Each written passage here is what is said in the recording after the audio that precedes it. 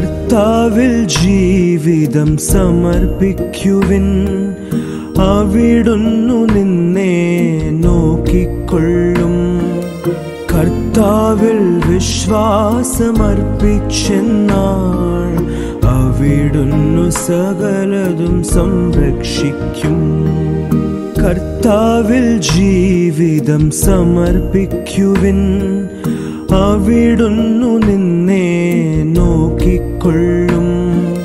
കർത്താവിൽ വിശ്വാസമർപ്പിച്ചെന്നാൾ അവിടുന്നു സകലതും സംരക്ഷിക്കും.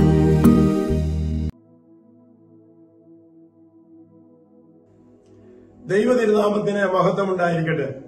പരിശുദ്ധമായ വലിയ നോമ്പിന്റെ അനുഭവത്തിലൂടെ നമ്മൾ നടന്നു നീങ്ങിക്കൊണ്ടിരിക്കുകയാണ്. ഈ നോമ്പിന്റെ കാലഘട്ടത്തിൽ ഏറെ വിശുദ്ധിയോടും വിശ്വസ്തയോടും പ്രതീക്ഷയോടും ത്യാഗത്തോടും കൂടി നമ്മുടെ ജീവിതങ്ങളെ ക്രമീകരിക്കുന്ന തിരക്കിലാണ് നാം ഓരോരുത്തരും. ഇതിനായിട്ട് നമ്മളോട് പങ്കുവെക്കുവാൻ വേണ്ടി ഇന്നേ ദിവസം തന്നിരിക്കുന്ന വേദഭാഗം വിശുദ്ധ മത്തായിയുടെ സുവിശേഷം നാലാം അധ്യായം നാലാം വാക്യമാണ്. അത് നമുക്ക് എല്ലാവർക്കും അറിയാവുന്ന വാക്യം തന്നെയാണ്. അവൻ പ്രതിവചിച്ചു മനുഷ്യൻ അപ്പം കൊണ്ട് മാത്രമല്ല ദൈവത്തിൽ നിന്ന് ദൈവത്തിന്റെ നാവിൽ നിന്ന് പുറപ്പെടുന്ന ഓരോ വാക്കുകൊണ്ടുമാണ് ജീവിക്കുന്നത് എന്ന് എഴുതപ്പെട്ടിരിക്കുന്നു. ഈ വചനത്തെക്കുറിച്ച് നമ്മൾ ചിന്തിക്കുമ്പോൾ ഇതിന്റെ പുറകിൽ ഒരു ചരിത്രമുണ്ടല്ലോ. നമുക്ക് ഏവർക്കും അറിയാം. യേശു തമ്പുരാൻ നാൽപ്പത് ദിവസം മരുഭൂമിയിലെ ഉപവാസം കഴിയാറായപ്പോൾ അവനെ പ്രലോഭകൻ അതായത് പിശാജ് അവനെ വന്ന് പരീക്ഷിക്കുന്ന ഒരു അവസ്ഥയാണിതിന് അതിനു മുമ്പ് പറയുന്ന ഭാഗം ഇതാണ്. ഈ കല്ലുകളെ അപ്പം ആക്കുവാൻ അവനോട് ആവശ്യപ്പെടുകയാണ്. അപ്പോൾ യേശു തമ്പുരാൻ പ്രതിവചിക്കുകയാണ് മനുഷ്യൻ അപ്പം കൊണ്ട് മാത്രമല്ല ജീവിക്കുന്നത് ദൈവത്തിന്റെ നാവിൽ നിന്ന് വരുന്ന വചനങ്ങൾ കൊണ്ടുകൂടിയാണ് ഇതേക്കുറിച്ച് ചിന്തിക്കുമ്പോൾ എനിക്ക് പറയാനുള്ളത് മൂന്ന് കാര്യങ്ങളാണ്. ഒന്നാമതായിട്ട് യേശു തമ്പുരാൻ പറയുന്ന ഭാഗം മനുഷ്യൻ അപ്പം കൊണ്ടല്ല ജീവിക്കുന്നത് എന്നത്. മനുഷ്യൻ അപ്പം കൊണ്ട് മാത്രമല്ല മനുഷ്യൻ ജീവിക്കുന്നത് ദൈവത്തിന്റെ നാവിൽ നിന്ന വചനങ്ങൾ കൊണ്ടുകൂടിയാണ് ഇത് പറയാൻ അവരെ പ്രേരിപ്പിച്ച ഘടകം. ഒരു പക്ഷേ ഒരു സാധാരണ തച്ചന്റെ കുടുംബത്തിൽ ജനിച്ചു വളർന്നവനായ യേശു തമ്പുരാന് എല്ലാവിധത്തിലുള്ള ദാരിദ്ര്യങ്ങളുടെയും ദുഃഖങ്ങളുടെയും ദുരിതങ്ങളുടെയും നടുവിലൂടെ കടന്നുപോയ അനുഭവത്തിൽ ഭക്ഷണം കിട്ടാതെ കഴിച്ചുപോയ അനേകം നാളുകൾ ഉണ്ടായിരിക്കാം. ആ നാളുകളിൽ അവനെ മടിയിലിരുത്തിക്കൊണ്ട് അവന്റെ കരങ്ങളിൽ പിടിച്ചുകൊണ്ട് അവന്റെ അമ്മ അവന് പറഞ്ഞു കൊടുത്ത തിരുവചനങ്ങളിലൂടെ അവനോട് അവൻ മുന്നോട്ട് നടക്കുകയായിരുന്നു ജീവിക്കുകയായിരുന്നു വളരുകയായിരുന്നു എന്ന ബോധ്യമാണ് ഈ വേദഭാഗത്തിൽ നിന്ന് ആദ്യം നമുക്ക് നൽകുന്നത്. അതുകൊണ്ടാണ് ഒന്നാമത്തെ ഭാഗം ഒരു മകന്റെയോ മകളുടെയോ രൂപീകരണത്തിൽ അവന്റെ അമ്മയ്ക്ക് വലിയ ഒരു പങ്കുണ്ട്. അപ്പോൾ അധ്വാനത്തിനായി അന്നത്തെ ഭക്ഷണത്തിലുള്ള വകയ്ക്കായിട്ട് അന്നം തേടി പോകുമ്പോൾ അവന്റെ അമ്മ വീട്ടിലിരുന്ന് അവന്റെ പട്ടിണിയുടെയും പരിവട്ടത്തിന്റെയും നടുവിൽ അവന് ഭക്ഷണം കൊടുക്കാൻ ഇല്ലെങ്കിൽ തന്നെയും അവന് വേദവാക്യങ്ങൾ പറഞ്ഞു കൊടുത്തിരുന്നു എന്നതുകൊണ്ടാണ് ആയുഷ് തമ്പുരാൻ ഈ വേദവാക്യം അവിടെ പിശാചിനോട് പറയുന്ന പരാജയപ്പെടുന്നത്. അതിനോട് ചേർത്ത് വായിക്കേണ്ട ഒരു കാര്യമുണ്ട്. ആദ്യം മാതാവായ ഹവായ ഇതുപോലെ പ്രലോഭിപ്പിച്ചപ്പോൾ ഒരു ഭക്ഷണത്തിന്റെ പേര് പ്രലോഭിച്ചപ്പോൾ ആ മാതാവ് ആ ഭക്ഷണത്തിന് അടിമപ്പെട്ട് ആ പ്രലോഭനത്തിന് അടിമപ്പെട്ട് വീണുപോയ അവസ്ഥയുണ്ടായി. എന്നാൽ യേശു തമ്പുരാൻ നമ്മളെ വീണ്ടെടുക്കുവാൻ വന്നവൻ ഇതാ ഇവിടെ വന്നിട്ട് ആ പ്രലോഭനത്തിൽ വീഴാതെ അതിൽ വിജയിക്കുന്നതായിട്ടാണ് നമ്മൾ കാണുന്നത്. രണ്ടാമത്തെ കാര്യം കല്ലിനെ അപ്പമാക്കാനാണ് ആവശ്യപ്പെടുന്നത്. കല്ല് ഒരിക്കലും അപ്പമാകത്തില്ല എന്ന് പറയാം നമുക്ക്. എങ്കിലും അവൻ ആവശ്യപ്പെടുകയാണ്.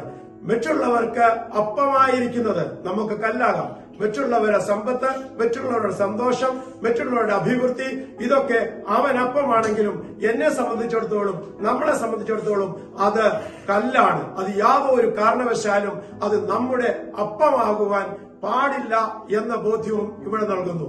മൂന്നാമതായിട്ട് നമ്മൾ ചിന്തിക്കേണ്ട കാര്യം ഈ വേദഭാഗത്തിലൂടെ നമ്മൾ കടന്നു പോകുമ്പോൾ നമുക്കറിയാവുന്നത് യേശു തമ്പുരാനോട് സാത്താൻ പറയുകയാണ് നീ ദൈവത്തിന്റെ പുത്രനാകുന്നു എങ്കിൽ അതാണ് ഏറ്റവും വലിയ ചോദ്യം. അതാണ് ഏറ്റവും വലിയ വെല്ലുവിളി ഇവിടെ നടത്തുന്നത്. എന്നോട് നിങ്ങളോടും പറയാറുണ്ട് ചോദിക്കാറുണ്ട് ചിലപ്പോഴെങ്കിലും ചിലരൊക്കെ നീ നിന്റെ അപ്പന്റെ മകനാണെങ്കിൽ നീ നിന്റെ അമ്മയുടെ മകനാണെങ്കിൽ നീ ഈ കുടുംബത്തിൽ പിറന്നവനാണെങ്കിൽ ഇങ്ങനെ ചെയ്യുക എന്ന് പറയുന്നു. ഇവിടെയും അത് തന്നെയാണ്. ഏറ്റവും വലിയ ചലഞ്ചാണ്.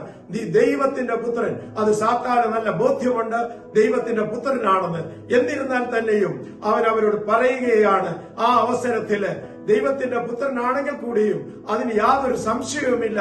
അതുകൊണ്ട് നിന്റെ പ്രലോഭനത്തിൽ ഞാൻ വീഴുന്നില്ല എന്ന ബോധ്യവും അവിടുന്ന് നൽകുന്നുണ്ട്. വീണ്ടും നമ്മൾ ആലോചിക്കേണ്ട കാര്യം ഇത്രയേ ഉള്ളൂ. നമ്മുടെ പ്രതിസന്ധികളിലും നമ്മുടെ പ്രലോഭനങ്ങളിലും അതേപോലെ തന്നെ നമ്മുടെ വീട് കിടക്കുന്ന അവസ്ഥയിൽ നമ്മൾ തളർന്നിരിക്കുന്ന അവസ്ഥയിൽ നമ്മളെ തളർത്തുന്നതിന് വേണ്ടി സാത്താൻ വീണ്ടും തളർത്തുന്നതിന് വേണ്ടി പ്രലോഭനവുമായിട്ട് കടന്നു വരുന്നു. യേശുദമ്പുരാന് മരുഭൂമിയിലെ ഉപവാസത്തിന് ശേഷം നന്നായിട്ട് വിശന്നിരുന്നുവെന്നും നന്നായിട്ട് ദാഹിച്ചിരുന്നുവെന്നും നല്ല ബോധ്യമുണ്ട്. നമ്മൾക്കും അതുപോലാണ് നമ്മൾ തളർന്നിരിക്കുമ്പോൾ നമ്മൾ വീണിരിക്കുമ്പോൾ നമ്മളെ വീണ്ടും കുഴിയിൽ ചാടിക്കുവാൻ നമ്മുടെ ചുറ്റുമുള്ളവർ പലരും ഇന്നും ഇതുപോലുള്ള പ്രലോഭനങ്ങളുമായിട്ട് വരുന്നു എന്നുള്ളത് നമ്മൾ മനസ്സിലാക്കണം. ഈ മരുഭൂമിയുടെ പൂർവപിതാക്കന്മാരുടെ പാതാനുസ്പർശത്താൽ പുണ്യഭൂമിയായി മാറിയ ഈ മരുഭൂമിയുടെ നടുവിൽ നിന്നുകൊണ്ട് ഈ ദൈവവചനം പ്രസംഗിക്കുവാൻ ഈ ദൈവവചനം നിങ്ങളോടൊപ്പം പങ്കിടുവാൻ ദൈവം തന്ന ഈ മഹാ അവസരത്തിന് നന്ദി പറയുന്നു. ഈ ഈ ഈ പ്രോഗ്രാമിന്റെ പിന്നാമ്പുറങ്ങളിൽ പ്രവർത്തിക്കുന്ന എല്ലാവരോടുമുള്ള സ്നേഹവും നന്ദിയും ഈ അവസരത്തിൽ അറിയിക്കുകയും ചെയ്യുന്നു. ഈ നോമ്പ് ഒരു അനുഗ്രഹമായി ഒരു അനുഭവമായി മാറുവാൻ എല്ലാവർക്കും ഇടയാകട്ടെ എന്ന പ്രാർത്ഥനയോടെ ദൈവ തിരുനാമത്തിന് മഹത്വം പറഞ്ഞുകൊണ്ട് എന്റെ വാക്കുകൾ നിർത്തുന്നു. നിങ്ങൾക്ക് നന്ദി നമസ്കാരം. സകലത്തെ ഉള്ളംകൈയിൽ വഹിക്കുന്ന മഹാപരിശുദ്ധനായ ദൈവമേ സ്വർഗീയ പിതാവേ അനുഗ്രഹിക്കപ്പെട്ട ഈ ദിവസത്തിനായി അങ്ങേ ഞങ്ങൾ സ്തുതിക്കുന്നു. ഓരോ ദിവസവും ഞങ്ങളെ പരിപാലിക്കുന്ന കൃപയ്ക്കായി നന്ദി നിറഞ്ഞ ഹൃദയത്തോടെ സ്തോത്രം ചെയ്യുന്നു. നോമ്പ് ജയത്തിന്റെ അടയാളവും ശത്രുവാകുന്ന ദുഷ്ടന് നേരെ തോൽക്കാത്ത ആയുധവുമാണ്. ഈ നോമ്പിന്റെ കാലയളവിൽ വിശുദ്ധിയോടുകൂടി ജീവിക്കുവാൻ കൃപ നൽകണമേ. ഈ ദിവസങ്ങളിൽ നല്ല വചനങ്ങൾ കേൾക്കുവാൻ തന്ന ഈ അവസരത്തിനായി സ്തുതിക്കുന്നു. അവചൻ വചനം കേട്ട് ഗ്രഹിക്കുന്നവരായി നല്ല നിലത്ത് വീണ വിത്ത് പോലെ നൂറും അറുപതും മുപ്പതും മേനി ഫലം പുറപ്പെടുവിക്കുവാൻ അടിയങ്ങൾക്കും കൃപ നൽകണമേ. എല്ലാവരെയും ഓർത്ത് പ്രാർത്ഥിക്കുവാനുള്ള കൃപയും നൽകണമേ. ഞങ്ങളിടയിലുള്ള എല്ലാ രോഗികളെയും സമർപ്പിച്ച് പ്രാർത്ഥിക്കുന്നു. ആണിപ്പഴുതുള്ള ആ കരങ്ങൾ രോഗികളുടെ മേലൊന്ന് സ്പർശിച്ചാട്ട് കർത്താവേ. അങ്ങയുടെ സന്നിധിയിൽ കടന്നു വന്ന ആരും ലജിതരായിട്ടില്ലല്ലോ ഭയപ്പെടേണ്ട ഞാൻ നിന്നോട് കൂടെയുണ്ട്. പ്രമിച്ചു നോക്കേണ്ട ഞാൻ നിന്റെ ദൈവമാണെന്ന് അരുളിയ. ദൈവമേ ഞങ്ങളുടെ പാവങ്ങളെല്ലാം അങ്ങയുടെ തൃപ്പാദത്തിൽ സമർപ്പിക്കുന്നു. ഞങ്ങളുടെ കുടുംബങ്ങളെയും സമർപ്പിക്കുന്നു. അങ്ങയുടെ സമാധാനം ഞങ്ങളുടെ കുടുംബങ്ങളിൽ നിറയുവാൻ അനുഗ്രഹിക്കണമേ. പ്രാർത്ഥന ആവശ്യപ്പെട്ടിട്ടുള്ള എല്ലാ മക്കളെയും ഒന്നുകൂടെ സമർപ്പിക്കുന്നു.